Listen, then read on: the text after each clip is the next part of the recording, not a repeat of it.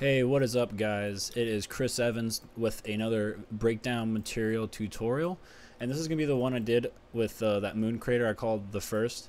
And so yeah, let's just dive right into it. So usually what I do is I always add a solid layer. I feel like it's a good base. Always have something underneath your working uh, uh, layers. So then I toggle this on. Obviously I increased the uh, threshold up. So now let's get into the fun stuff. So I created a mask stack and we're just going to go all the way down. And I started with this shape uh, I was just, eh, it looks good. It's a circle. It's not perfect. I squished it a little bit. And then I added a small gradient.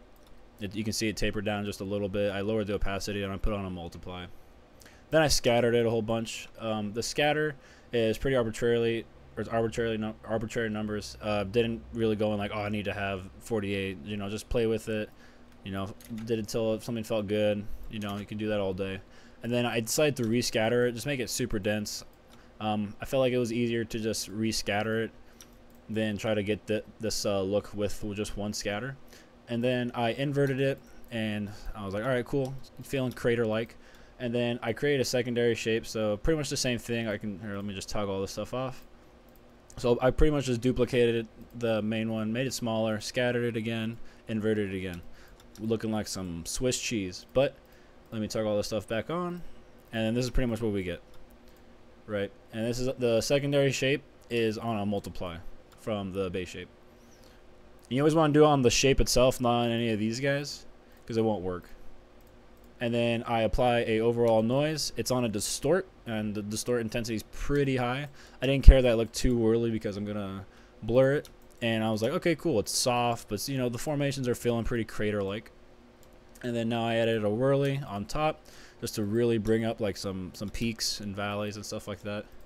Um, so just adjusting the seed amplitude, the octaves are pretty low. Kind of I upped the, up the persistence a little bit, and I felt this is pretty good. Uh, I did an overlay. Um, so yeah, always playing with these uh, blending modes is super cool. You can get crazy looks. Uh, I wish that you could do like a wheel scroll while while cycling the different blending modes. That'd be awesome. But um, yeah, so let's go back to the overlay. And then I did a tertiary one where you'll see you can see little small circles. Just basically doing this again. Uh, shape, scatter, and then inverting it. Or this one I didn't invert. So I scattered it, blurred it, and then boom. Um, actually, I realized I think later on that you can just invert here. But it's all good. Um, so now we got this cool, uh, you know, small shapes for the crater, and then I did an overall blur because that noise underneath the uh, the Worley was a bit strong. So I figured it was a good time to just do an overall blur. so now I add this noise, and then we're finally getting some like uh, detail. I mean, you can not looking crazy, just adding some. It's basically that Worley again, just uh, just more fine tuned. Again, just blending uh, with an overlay, uh, lowering the opacity. You can increase it or decrease it if you want. Uh, adjusting seed, persistence. Just rinse and repeat until you feel like it looks good. And I did a distort overall on the whole thing, and this is where it starts to like really feel like a crater, rocky uh, surface. So the distort intensity is pretty low, or it's pretty high. Uh, I went negative. You don't have to go negative per se. Just I, I went that way and it felt good. Um, octaves up pretty high because I wanted it to uh, really uh, shift the material around or shift the the height.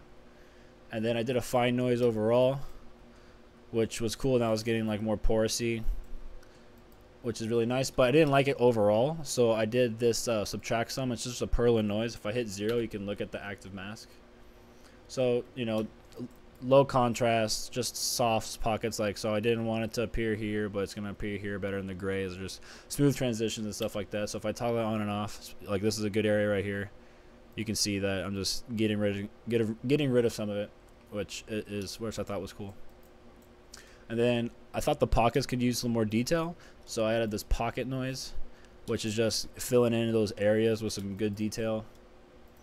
Uh, again, octaves, persistent, adjusting the seed, seeing what you like. And it's cool because you can increase it if you're like, you know, I want crazier frequency. You can just go crazy with it. You really get fine too, like if you wanted to make sand and crevices and stuff like that. And then I did a smaller noise just to really get it fine tuned. I was like, you know, this is looking pretty good, and it was super quick to make, and it's a ton of fun once you get a, a hold, or once you kind of understand how the stacks work. I would definitely recommend um, naming everything because sometimes I won't name them. I'm just like, ah, oh, what is this? Blur or noise, noise, noise. Like just uh, can get can get very uh, confusing. So definitely recommend naming them. And then uh, this morning, uh, when I was opening it to prepare for this video, I was like, oh, I can do a couple more things. So um, I, I, wanted to get like a good base roughness. So I actually loaded this in. I just loaded in uh, random. Oh, let me. Yeah, something something crazy. It's just to have something to start off with. So it's not just one uh, solid. And then um, this guy I thought was cool if I wanted to have a variation to where, where I kind of like flatten some of those deep pockets out. And it's just some basic noises, like low contrast, you know. And I, I don't even think I adjusted. I, I, think I turned the octaves up, but that's about it. Uh, these are toggled off, or the, at least the blur was. Another one. So it's doing nothing crazy. It's just a way to kind of flatten this out. I up the threshold some, so I can just like, oh, I can fill it in, you know, variation. And then this guy, I get gave him like a curvature pass, which is really cool. Um, is probably one of my favorite things in here. Just you just turn on the curvature, and then you can just adjust. You can give get some pretty cool uh, curvature action going on real quick. So lots of cool stuff. And then um, I was actually digging through the library, and I saw the sand debris that happened to work really well. So I plopped it on, and I was just like, you can definitely do this procedurally, but all this fine-tuned stuff, I was like, oh shit, just wish I uh, did it when I first uh, made it.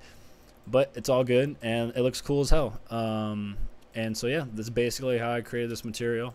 Um, I hope you found this informative. Please feel free to reach out if you have any questions. All right, thanks guys. See ya.